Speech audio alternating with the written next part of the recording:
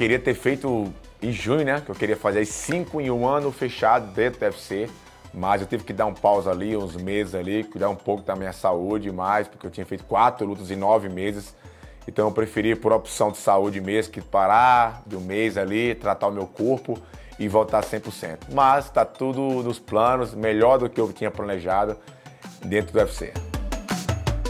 Minha última luta foi um lutão, né? Eu, só faltou para premiar o bônus da noite, a gente não ganhou e o Poitin, infelizmente, não ganhamos como luta da noite. Mas ficou uma grande luta, espero que no final do ano tenha, fique entre as melhores do UFC no ano. E agora a próxima luta agora contra o americano, um dos maiores finalizadores da categoria peso médio. Gerald GM3 Merchant!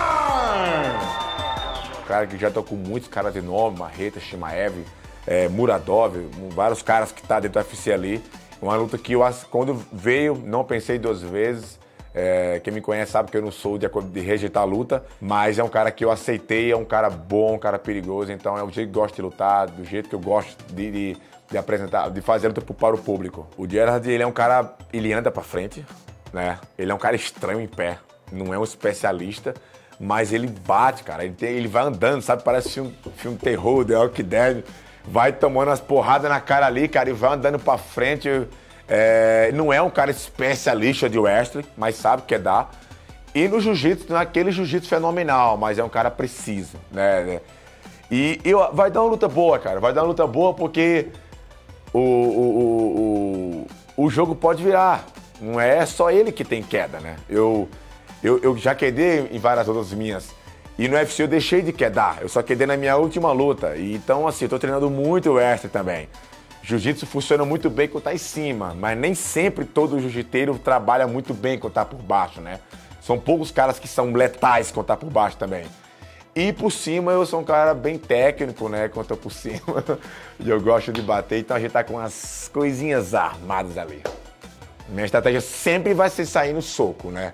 Só que tô, vai ser um, eu acredito que vai ser um pouco diferente dessa vez. O blindado que já eu luto na Rússia, o do, eu tava aqui no Brasil. Vou botar algumas coisinhas que eu tenho, acho que eu tenho que começar a dosar com o início, com o meio e agora com o momento que eu tô vivendo agora. Nos últimos anos, né, nos últimos acho que 4, 5 anos, eu treino mais. Engraçado, que é, eu falo isso agora na live, até acho que eu tô brincando, né? Eu treino mais chão do que a própria porrada em si, né? Porque o chão, eu, come, eu sou, acho que eu sou um dos poucos nordestinos paraibanos, né? Que, que, que não é o carro forte, o jiu-jitsu, né? Eu sou striker porque meu, meu professor era aqui de São Paulo que hoje é falecido de um Salles. É, então eu sou da porrada, só que eu treino muito chão. Então eu tô preocupado com o chão. Cara, um todo strike quer lutar em pé. Mas se for pro chão, cara, eu treino muito jiu-jitsu também, treino, tô treinando, tô dando foco mais também no kimono agora também. Então eu tô pronto para lutar em qualquer situação.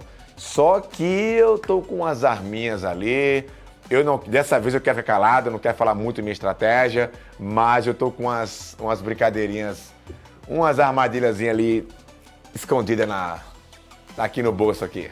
Bruno Blindado Silva! Eu não quero ser um cara conhecido, eu quero ser um cara respeitado. O que eu quero ser respeitado?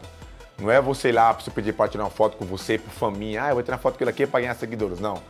Caramba, esse cara, eu respeito ele. A história desse cara é, é ela é diferenciada. Esse cara é um espelho para mim. é uma postura que eu acho bonita. Ele é um cara que parece ser um bom pai, um bom lutador, um bom esposo. Quero que eu seja respeitado, né? Não só conhecido. Conhecido é uma forma temporária.